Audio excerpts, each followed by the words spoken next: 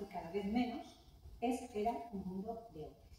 Y eso es lo que tenemos que cambiar, no solamente en la política, sino en general en todos los puestos de responsabilidad, porque somos el 50, más del 50% de la población de este país.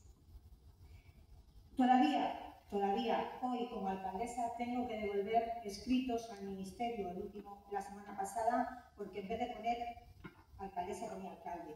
Y es una cuestión de formas. Puede ser una tontería, pero que hay que desde el primer momento corregir. Me costó mucho trabajo cuando me llegaban los, las convocatorias, las cosas que tienes que firmar en el ayuntamiento, de tu propio ayuntamiento, que ponía el alcalde. No, lo devolvía, que ponga la alcaldesa. Son pequeñas muestras, pero que hay que, desde cada uno desde su ámbito, que hay que corregir. El último documento, la semana.